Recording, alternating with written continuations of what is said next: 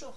Dans cette petite capsule, j'aimerais partager avec vous quelques règles de base sur l'utilisation de l'homéopathie dans les cas aigus. Cas aigus, c'est un genre de euh, grippe, otite, euh, bronchite, euh, diarrhée, ainsi de suite.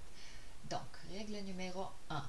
Si vous prescrivez par vous-même, choisissez des dilutions qui sont toujours plus petites ou égales à 30 H.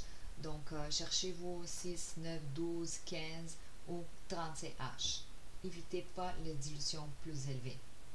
Règle numéro 2. Plus l'état est grave, donc plus la douleur est importante, plus la fièvre est élevée, ainsi de suite, plus vous pouvez vous permettre des doses rapprochées. Euh, aussi, il faut considérer que plus la dilution est élevée, moins on a besoin de le prendre souvent.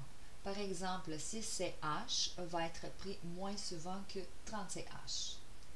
Règle numéro 3.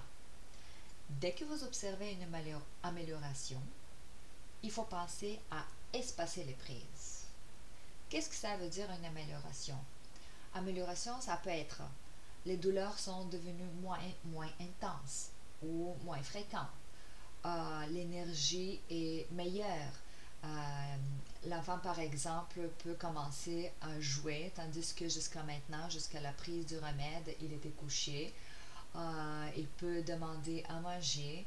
Euh, aussi, l'amélioration, ça serait par exemple si quelqu'un s'endort euh, après la prise du remède, puis pourtant avant il n'était pas capable parce que les douleurs étaient importantes, insupportables, ainsi de suite, c'est une amélioration aussi. Donc, dès qu'il y a une amélioration, il faut espacer les prises. Pourquoi? Parce que si on bouscule trop le corps, euh, si on lui envoie des messages fréquents, parce que le remède homéopathique, c'est comme un message qu'on envoie au corps, euh, plus on peut freiner euh, la guérison. Pour que vous compreniez mieux la situation, je vais faire en comparaison avec, pensez à votre adolescent. Disons que vous voulez qu'il range sa chambre. Donc au départ, vous allez lui dire probablement trois fois, quatre fois, va ranger ta chambre, s'il te plaît, range ta chambre. À un moment donné, il va être tanné, puis il va commencer à ranger sa chambre. En ce moment-là, s'il est en train de ranger sa chambre, puis vous lui dites range ta chambre, wow, ça serait une erreur grave. En ce moment-là, très probablement, il va vous tourner le dos, il va jeter euh, ses vêtements par terre là où il était jusqu'à maintenant, puis euh, il va aller devant l'ordi, puis c'est fini le rangement des chambres. Même chose se passe avec le corps si on lui donne une dose quand ce n'est pas nécessaire, quand le corps est en train de faire le travail. Par contre, si l'adolescent, au bout d'un moment, il s'est tanné, puis euh, il a commencé à traîner, euh, il s'est assis devant l'ordi, il a commencé à chatter avec ses amis, là, vous avez le droit de lui dire Range ta chambre, s'il te plaît. Et c'est la même chose qu'on va faire avec le remède homopathique. Dès que vous voyez que euh, ça n'avance plus, l'amélioration n'avance plus, ou bien il y a un retour de symptômes, euh, là c'est le moment de donner une nouvelle dose.